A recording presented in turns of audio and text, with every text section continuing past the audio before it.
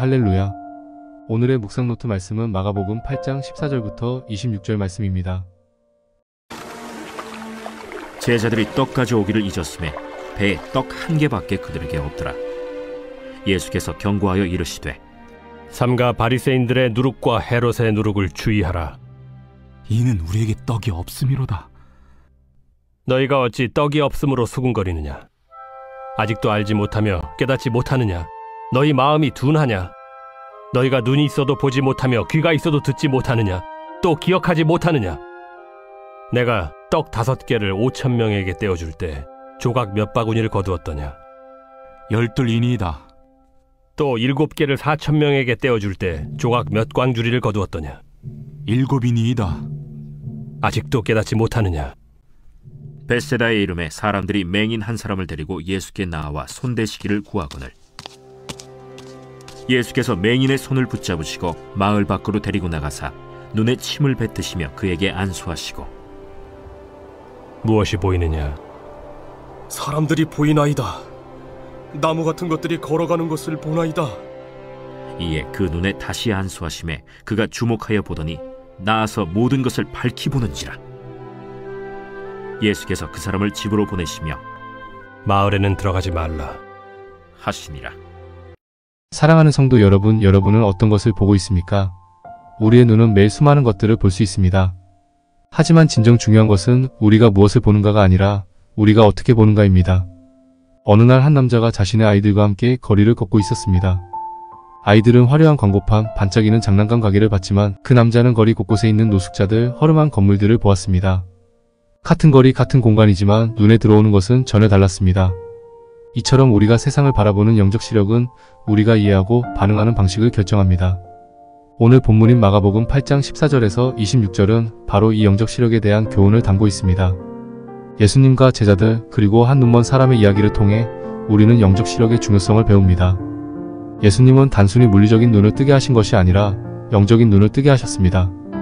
그렇다면 우리는 어떻게 영적 시력을 회복하고 하나님의 말씀의 진정한 의미를 깨달을 수 있을까요? 이제 마가복음을 통해 함께 그 해답을 찾아보겠습니다. 예수님과 제자들은 빵 한 개밖에 없는 상황에 직면했습니다. 14절부터 16절입니다. 제자들은 물리적 결핍 즉 빵 한 개밖에 없는 현실에 크게 집중하며 걱정했습니다.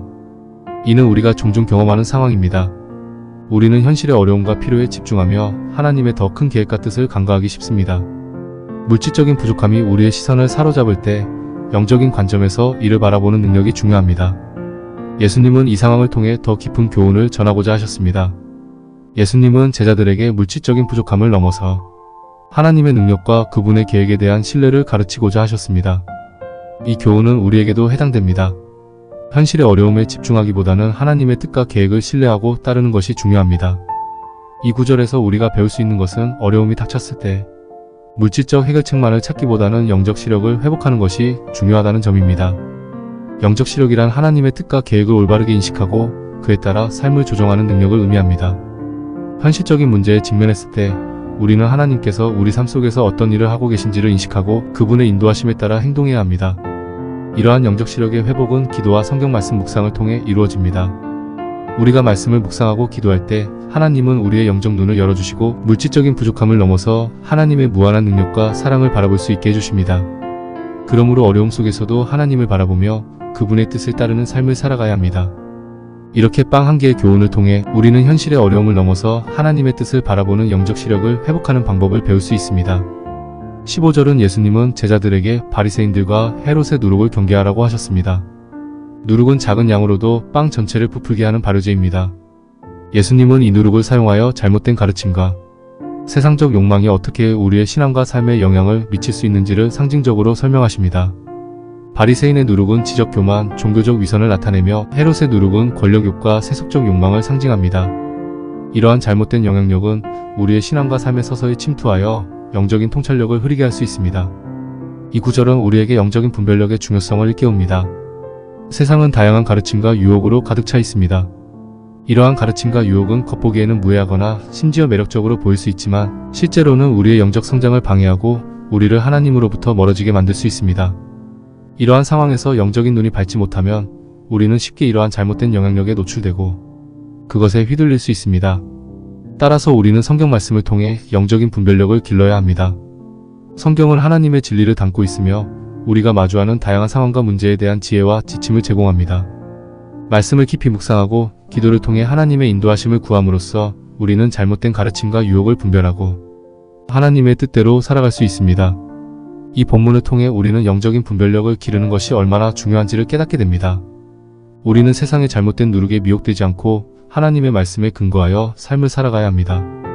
이를 통해 우리는 영적으로 성장하고 하나님의 뜻을 더 깊이 이해할 수 있을 것입니다.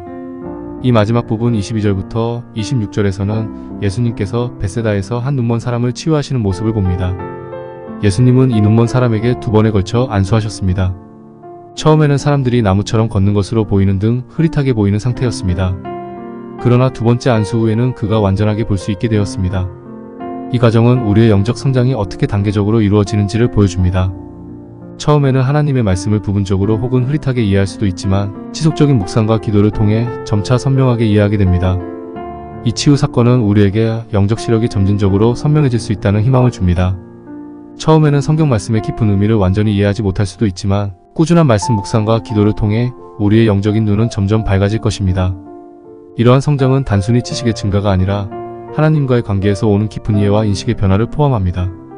우리는 이 사건을 통해 영적인 성장이 하나님의 시간과 방법에 따라 이루어진다는 것을 배울 수 있습니다. 때로는 우리가 더 많은 것을 보고 이해하길 원하지만 하나님은 우리가 단계별로 성장하도록 인도하십니다. 중요한 것은 우리가 이 과정에서 인내심을 가지고 하나님의 인도를 따르는 것입니다. 이렇게 베세다에서의 치유 사건은 우리에게 영적 시력의 중요성과 영적 성장의 단계적인 과정에 대한 귀중한 교훈을 제공합니다. 우리가 겸손한 마음으로 하나님의 말씀 앞에 나아가고 성령님의 인도를 따르며 꾸준히 기도하고 묵상할 때 우리는 하나님의 말씀의 진정한 의미를 더 깊이 이해하게 될 것입니다. 결론 및 적용 영적 시력의 회복의 중요성 말씀 마무리합니다. 본문은 회복이 얼마나 중요한지 깨닫는 것입니다.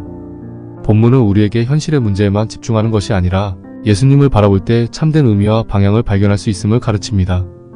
우리는 매일 다양한 도전과 어려움에 직면합니다. 이러한 상황에서 우리의 시선이 세상적인 것들에만 머무른다면 우리는 하나님의 더 큰 계획과 그분의 뜻을 간과할 위험이 있습니다.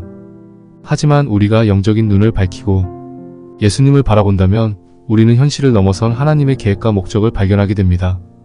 하나님의 말씀을 통해 우리의 영적 눈을 밝히는 것은 성경의 진리를 깊이 이해하고 그 말씀에 따라 삶을 살아가는 것을 의미합니다.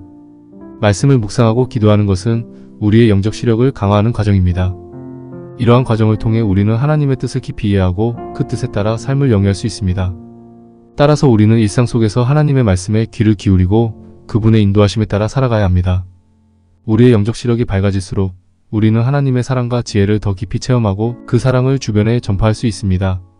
이러한 삶은 우리를 참된 기쁨과 평안으로 인도하며 하나님 나라의 건설에 기여하게 됩니다. 사랑하는 성도 여러분, 하나님의 말씀을 통해 우리 모두의 영적 시력이 회복되고 그분의 뜻을 깊이 이해하며 살아가는 복된 삶을 살아가길 소망합니다. 함께 기도하시겠습니까? 하나님 아버지, 우리가 오늘 말씀을 통해 영적 시력의 회복이 얼마나 중요한지를 깊이 깨달았습니다.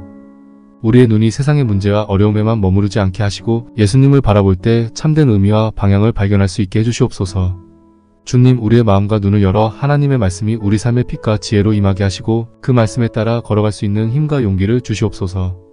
우리가 말씀을 통해 더욱 성장하고 영적으로 선명해지도록 인도하여 주시옵소서.